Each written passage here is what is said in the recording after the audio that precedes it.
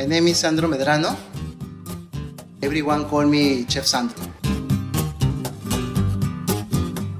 I am from Peru, from Lima, the capital city. I have been involved in the culinary industry since I was 13 years old.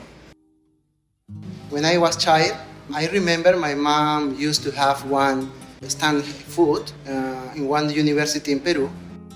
I saw my mom with her hands.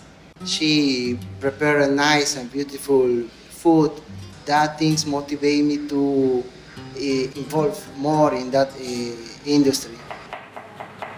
Nikkei is the fusion of Peru, Japan. Uh, I choose Nikkei because I want to show for everyone my culture and also I like that kind of fusion in my cuisine.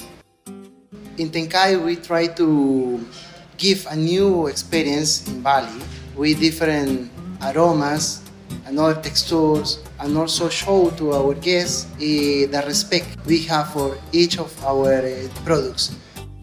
When I cook, the kitchen becomes my work. One rule I have for myself is that I will never stop exploring and developing my creativity.